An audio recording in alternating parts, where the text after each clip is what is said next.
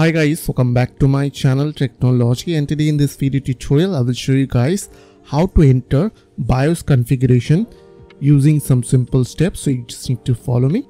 So first of all you just need to open settings for that you just need to right click on your start menu icon click on settings. After that click on system from your left side over here as you can see on your right side scroll down a little bit and you will get option called recovery. So click on that now under advanced startup as you can see click on restart now. Now click on restart now again.